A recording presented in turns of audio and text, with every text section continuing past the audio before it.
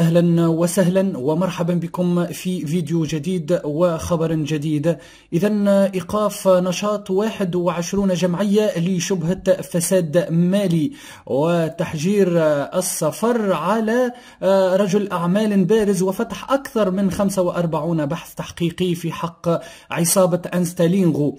اذا ونمر للموضوع الأول وهو إيقاف نشاط 21 جمعية. قرار أو قرر والي تطاوين حافظ الفيتوري إيقاف نشاط 21 جمعية ناشطة بالجهة لشبهة فساد مالي ويأتي ذلك إثر الأبحاث وتحريات قامت بها فرقة الشرطة العدلية بالمنطقة الجهوية للأمن بإذن من النيابة العمومية وقد تمت إحالة ملفاتهم إلى القطب القضائي والمالية وموضوعنا الثاني وهو تحجير السفر على رجل أعمال بارز وفتح أكثر من 45 بحثا تحقيقي في حق عصابة أنستالينغو إذا أكدت مصادر مطلعة لنا بأن النيابة العمومية بمحاكم تونس وسوسة والمنستير قد قررت آه، الإذن بفتح أكثر من 45 بحثا تحقيقي في حق عصابة أنستالينغو وكما علمت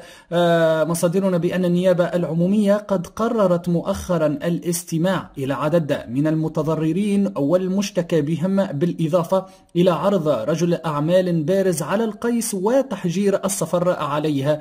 ويأتي ذلك عقب رفع عدد من المتضررين عشرات الشكايات الجزائية إلى النيابة العمومية بمحاكم تونس وسوسة والمنسير من أجل تكوين وفاق إجرامي للاعتداء على الأشخاص والإساءة للغير عبر شبكات التواصل الاجتماعي وهضم جانب موظف.